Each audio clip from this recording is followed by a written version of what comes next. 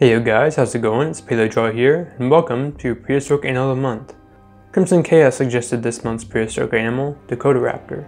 Now Dakotaraptor was a large dromaeosaurid dinosaur discovered in South Dakota, a state in the US. Estimations suggest a length of 5.5 meters, height of 1.8 meters, and weight of 350 kilograms.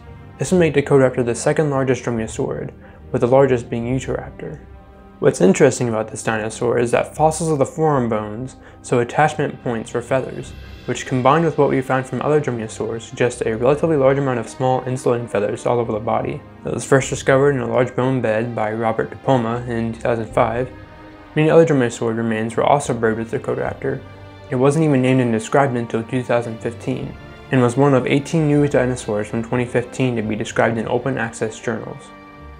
Later on, it would be known that some of the bones were actually from a turtle, leading some to believe that Dakotaraptor never even existed, despite other remains still being from a dromaeosaur of some type.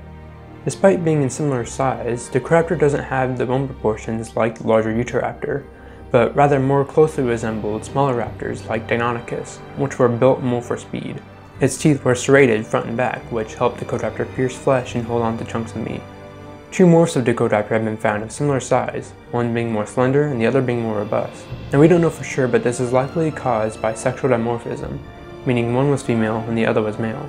Dakotaraptor is found in the Creek Formation, meaning it most likely shared its environment with animals like Ankylosaurus, Edmontosaurus, Triceratops, a smaller raptor, a Chairaptor, and this other dinosaur that nobody really knows about. It may have also hunted in packs, forcing them to compete with subadult tyrannosaurids for food.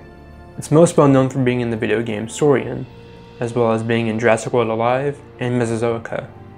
Alright, that concludes May's Prehistoric Animal of the Month. If you like videos like these, make sure to like and subscribe to have a chance to vote on the next episode. And as always, keep your pencils sharp.